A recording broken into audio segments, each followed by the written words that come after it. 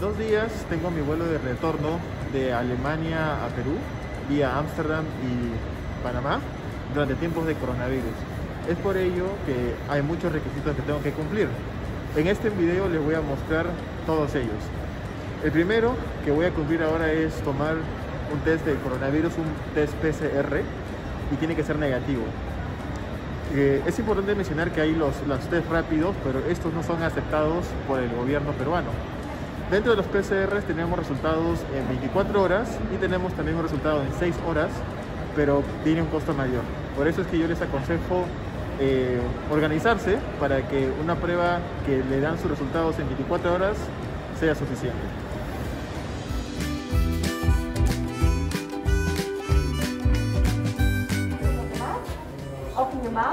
Your tongue, and count.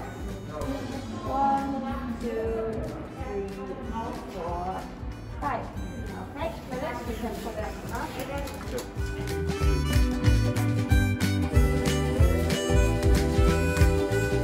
poder salir de Frankfurt, en el counter me preguntaron eh, si tenía el, test PCR negativo. Mostré ese documento y no hubo mayor problema.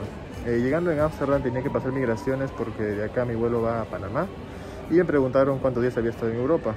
Estuve aproximadamente 105 días, que es mayor a la estancia que permite la visa de turista, pero solamente le presenté un documento que eh, pude conseguir a través del Ausländer de Behörde en Alemania y no hubo ningún problema, me dijeron está bien y me sellaron mi pasaporte.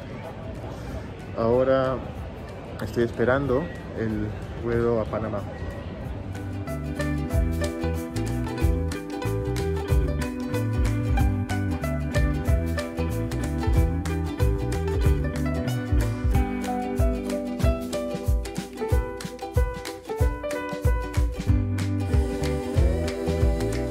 Ya llegué a Lima, eh, en Panamá.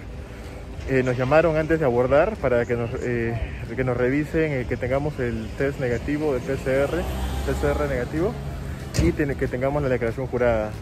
Eh, nos pusieron el boarding pass, documentos ok y luego durante el abordaje eh, solamente revisaron eso y pasamos el código barras.